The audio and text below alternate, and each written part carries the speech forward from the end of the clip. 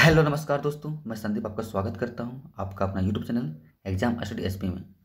दोस्तों, आज मैं नृत्य, संगीत एवं कला से रिलेटेड महत्वपूर्ण प्रश्न को लेकर आया हूँ, जो कि एग्ज़ाम की दृष्टि से बहुत ज़्यादा महत्वपूर्ण है। और दोस्तों, ऐसे प्रश्न हमेशा एग्ज़ाम में पूछे जाते हैं। तो दोस्तों, यदि आप इस चैनल पर नए हैं तो सब्सक्राइब कर लीजिए और बगल के बेल आइकन ज़रूर दबा लीजिएगा, ताकि मैं जितने भी वीडियो अपलोड करूँ, सबसे पहले आप तक पहुँच जाए। तो चलिए दोस्तों, देर करते हुए शुरू करते हैं।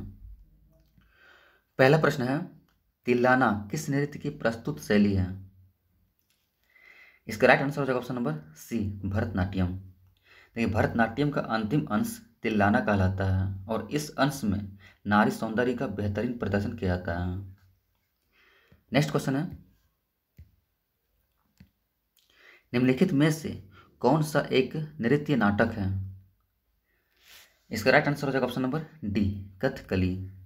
Kathakali जो है, वो केरल का एक क्लासिकल डांस है और यह नृत्य पुरुषों द्वारा किया जाता है।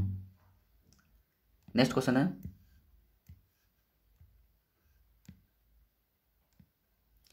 पंजाब में अनाज काटने के समय निम्न में से कौन सा लोक नृत्य प्रचलित है? इसका राइट आंसर हो जाएगा ऑप्शन नंबर डी भांगड़ा, है ना?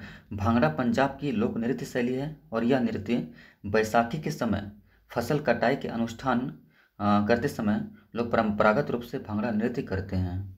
और भांगड़ा के दौरान लोग पंजाबी भाषा में गीत गाते हैं तथा लुंगी व पगड़ी बांधे लोगों के घेरे में एक व्यक्ति ढोल बजाता है। है ना? नेक्स्ट क्वेश्चन है। निम्नलिखित में से कौन सा आवश्यक रूप से एकल नृत्य है? क्या बोल रहा है? एकल नृत्य है। इसका राइट आंसर हो जाएगा ऑप्शन नंबर सी यानी कि मोहनी अट्टम। है ना? मोहिनी अट्टम केरल राज्य का एक एकल लोक नृत्य है। नेक्स्ट क्वेश्चन है। निम्नलिखित में से कौन सा महाराष्ट्र का एक लोकप्रिय लोक नृत्य है? क्या बोल लोकप्रिय लोक नृत्य कहाँ का? तो महाराष्ट्र का।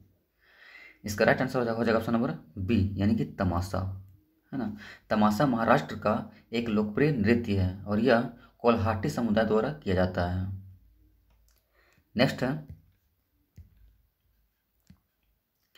सुबह मुगदल खाली स्थान से संबंधित है इसका राइट आंसर हो जाएगा ऑप्शन नंबर डी यानी कि हिंदुस्तानी शास्त्रीय संगीत यानी कि सुबह मुगदल जो हैं वो हिंदुस्तानी शास्त्रीय संगीत से संबंधित हैं नेक्स्ट है क्या क्वेश्चन किस नृत्य में कलाकार पोटलोई नामक बेलनाकार स्कर्ट पहनते हैं। क्या बोल रहा है? पोटलोई नामक बेलनाकार स्कर्ट पहनते हैं। इसका राइट आंसर हो जाएगा ऑप्शन नंबर डी यानी मणिपुर। है ना? मणिपुरी जो है, मणिपुर का शास्त्रीय नृत्य है और यह नृत्य वैष्णव धर्म से प्रभावित है। इस नृत्य शैली में राधा कृष्ण की रासलीलाओं का आयोजन किया जाता है। है ना? नेक्स्ट क्वेश्चन है। भरतनाट्यम की उत्पत्ति किस राज्य में हुई थी? इसका राइट आंसर हो जाएगा ऑप्शन नंबर सी तमिलनाडु। यानी भरतनाट्यम की उत्पत्ति जो हुई थी, वो तमिलनाडु राज्य में हुई थी, है ना?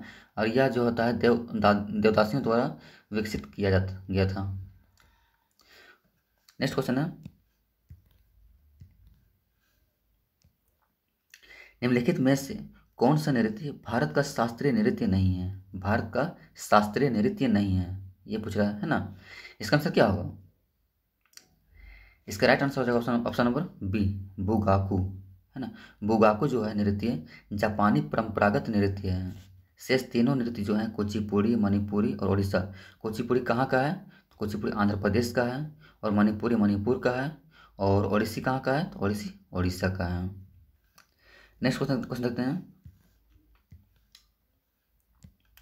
निम्न में से कौन सा राज्य शास्त्रीय नृत्य शैली ओडिसी से संबंधित है? क्या बोल रहा है? ओडिसी से संबंधित है। इसका राइट आंसर हो जाएगा ऑप्शन नंबर सी यानी कि ओडिशा, है ना? ओडिसी जो है, कहाँ का शास्त्रीय नृत्य शैली है? तो ओडिशा का है।